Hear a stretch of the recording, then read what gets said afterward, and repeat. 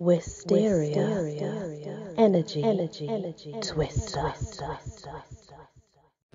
Hello, everyone. Welcome back to the Ghosts of Essex. This tale is called A Knight to Remember.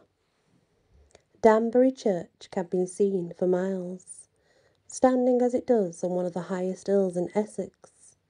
Our pagan ancestors would have chosen a place like this for their sacred ceremonial bonfires, such as the celebration of St. John's Eve at midsummer. And when the church was built, there in Christian times, it was dedicated to St. John the Baptist. The church has a dramatic history, and ancient records tell of two visitations by the devil. On Corpus Christus Day in 1402, can be pronounced in different ways. Corpus Christus, Corpus Christi. Depends. During evensong, there was a violent storm which broke part of the steeple and damaged the chancel. At the height of the tempest, the devil himself was seen in the likeness of a grey friar, behaving himself very outghoulishly which naturally put the congregation in a marvellous great fright. That's just how they would talk back then. During another legendary visit, the devil stole the fifth bell from the belfry. This was the bell tolled to mark the passing of a soul and to drive away the powers of darkness. And, as his satanic majesty fled with his trophy, the close pursuit of the local people caused him to drop it, so that it rolled down to a place still known as Bell Hill Wood. It is said that when the fifth bell was replaced, no bell ringer could be persuaded to ring it, in case this inspired the devil to make yet another unwelcome visit to Danbury Church. But devil or no, Danbury's wooden steeple was the victim of another violent storm. In 1749. This is once again when it was struck by the fork lightning and it burnt the top 20 feet. And during the last war, the church was bombed by an enemy aircraft in 1941, causing extensive damage and removing the roof. Fortunately, Danbury's three carved wooden knights were left unarmed. Although when I visited the church recently, I saw that one seems to be suffering from woodworm and has lost part of one leg. Who are they? These oaken gentlemen are sleeping the centuries away.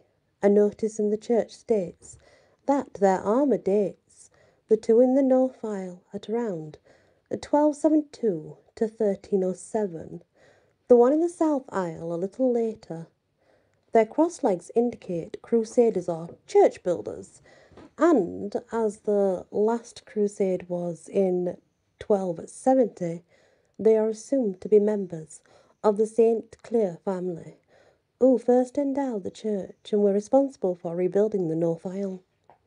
But Danbury Church holds another intriguing mystery, revealed in 1779, when some workmen digging a grave in the North Aisle made an interesting discovery. About three feet down, they came upon a stone slab, and beneath that was a lead coffin. The rector, the church warden, and the village doctor were summoned, and in a state of great excitement, the three arrived, under the impression that as the coffin was buried inside one of the church's ancient wooden effigies, inside would be found the remains of a knight of St. Clair family. Impatient as they were to investigate, the three gentlemen contained themselves while they waited for Dr. Gower, a famous Chelmsford antiquary, to join them. But when he didn't arrive three days after the discovery of the coffin, they decided to go ahead without him.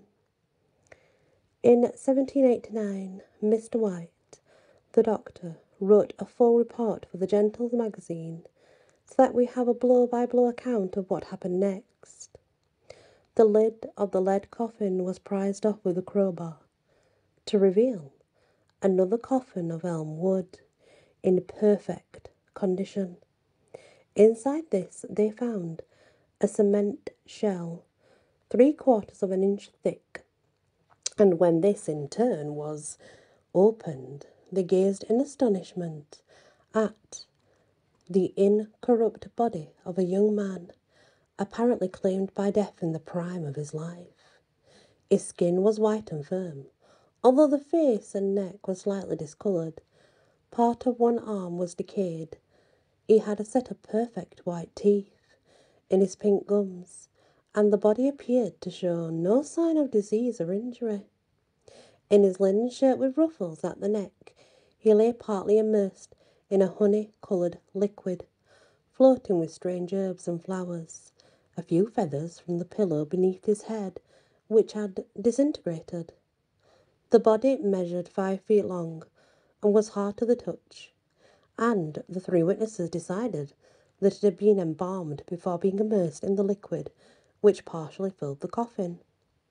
This lid had a slight, delicate smell, and as Mr. White possessed no sense of smell, Nothing daunted, he decided to taste it, describing it as aromatic though not very pungent, partaking of the taste of the mushroom ketchup and of the pickle of Spanish olives. Not content with this, the three men each ripped off a strip of the corpse's shirt as a memento, and then allowed the curious parishioners in the church to view the body. By now, Dr. Gower, the antiquary, had joined them, and they all agreed that this must be the body of the knight. Wooden, those wooden effigy that lay close by, one of those. Since that appeared to be the end of the matter, the trio of cement, wood, and lead coffin were closed down and sealed and returned to the former position in the north aisle. But when Mr. White's account appeared in print, antiquary Joseph Strutt, the local MP for Maldon, was not convinced about the pickled knight's identity. It was his opinion that this method of preserving bodies was not in use in England until the 15th century, and the armour of the wooden figure dated it at late 13th or early 14th century. To prove his point, he opened the tomb beneath. Yes, beneath the wooden effigy, of course, and found, as he expected, a skeleton which had been interred in the 13th century fashion without a coffin or shroud. Since there seemed to be no doubt about the identity of these remains, Mr. Strutt's detectives' instincts now turned to the true identity of the mysterious body in the mushroom ketchup. And it does say mushroom ketchup, not ketchup. He dug down to the pickled knight's grave and found that the outer lid coffin had no inscription of any kind but the stone slab which covered it had a cross, a fleury, and appeared to have once had a brass plaque. Mr. Strutt thought this must probably have been the one mentioned by the historian Weever, which had read, Hi, Janet Geraldus, quondam filius et heres Geraldi Braybrooke, militis qui obit marci. Here lies Gerald, once the son and heir of Sir Gerald Braybrooke, who died 29th March 1422.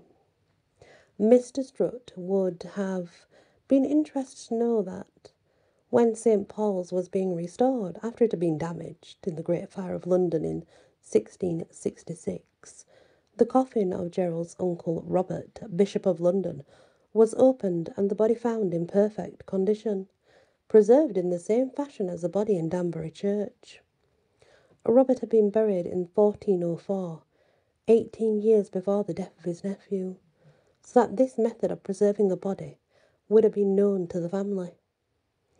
In his absorbing book, The Knights of Danbury, Andrew Collins has researched the history of the St. Clair family and disagreed that the embalmed knight was Gerald de Braybrooke. In his opinion, the most likely candidate was William St. Clair, Lord of the Manor of Danbury, and one of the wooden effigies in the north aisle of the church. He was Sheriff of Essex and Hertford in 1279 and died in 1283. We do not seem to know the age of William, but the body seen in 1779 was described by an eyewitness as a hearty youth. So perhaps he was rather young to have been the sheriff four years earlier.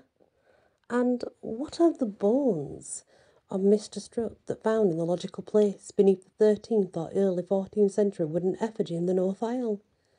It seems as if the mystery of the pickled knight of Danbury has still some way to run. The end. What an interesting story. Imagine coming upon a coffin like that and it's literally got a pickled human in it. Wow. Thank you for listening. Please hit that like, share if you can, and consider subscribing. Many blessings. Wysteria, Wysteria. Energy, energy, energy, twister. twister.